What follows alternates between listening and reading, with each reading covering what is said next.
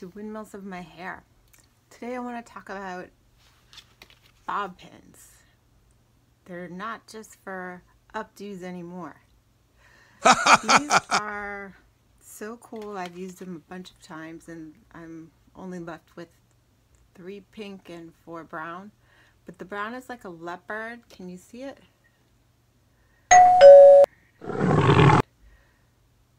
Or just kind of like speckled gold. And I haven't tried spray painting um, regular bob pins or anything like that yet. I don't know if that'll work. I don't know how crafty I am, but they make them, so you don't have to. Anyway, I like to take my bob pins out of the package and kind of lay them out in front of me because sometimes, you know, your hands get full and just it's easier. And I like these ones from CVS because they're like, um, they're their brand, Beauty 360, because they're not full of a bunch of ridges and they're not um, so hard that they like hurt. Because some of them do, and I don't like that. So what I brought along to do different designs is um, my Living Proof Control Hairspray, which I like because it's very light. And I bought this cute little John Frieda Frizz Control. I think this stuff is like, what is it? Uh, I don't know, it's hairspray. And this hairspray is like harder than the the other one, you know, than the Living Proof. Because the Living Proof, okay.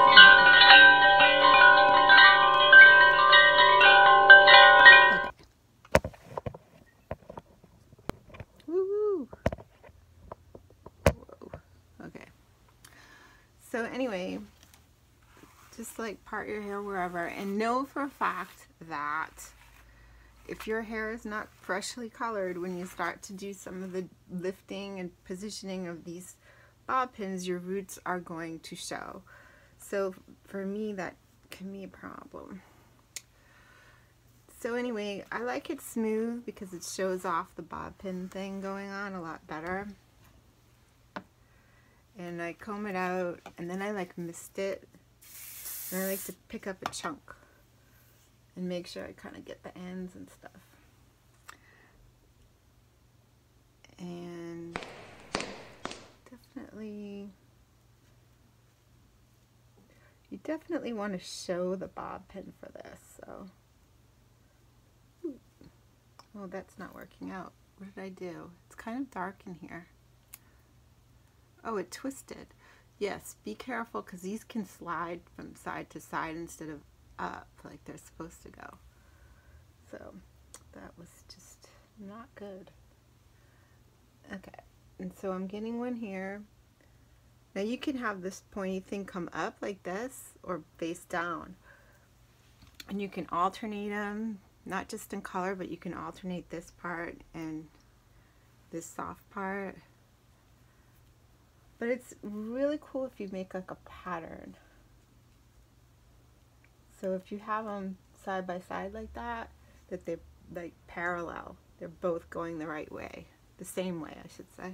So I put a crisscross part here because it's bob pins and it's fun. And I'm to put two that way.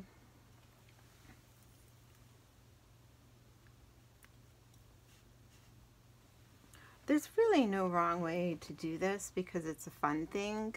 It's not a You can make it super glam if you want, you know, and wear it to a party, but make sure everything's like super parallel and stuff. But you can crisscross them too. That's really fun. See, once I get like, I like these pieces to, you know, stand out that they're pinned. And that's why I, I'll take the hairspray and either spray it first or spray it afterward. So it's like a light little separation there. So say, let's see, just jazz it up. And um, say you want to do like something to the side. You're going to do like, say, I don't know, braid or something on this side here. A side braid. and just keep this part um, can be your bob pin designs let's see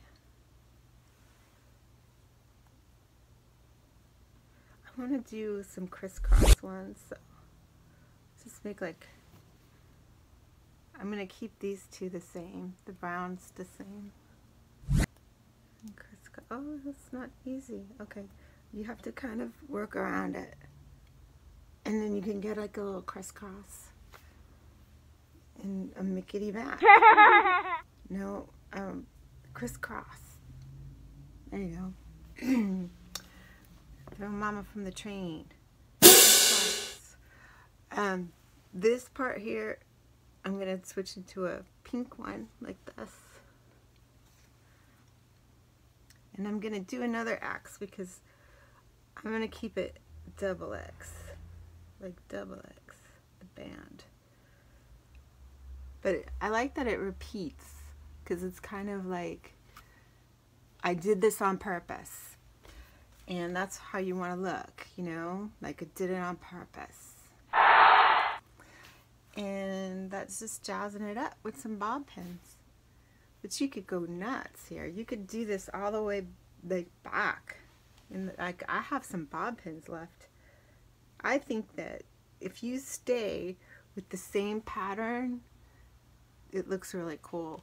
And if you're gonna change the pattern, it should flow. Like, how would I show that? Like maybe move it up an inch and echo this, echo the one behind it. So you move it up like that. And then you could change it to parallel, parallel, like that. Then you could change it to just one.